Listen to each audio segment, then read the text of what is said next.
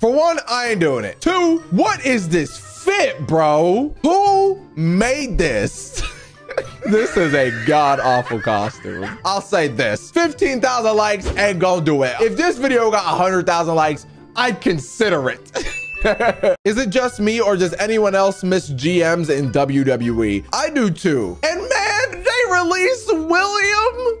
Really? Regal is gone? That don't make no sense, bro. That, that's a fat L.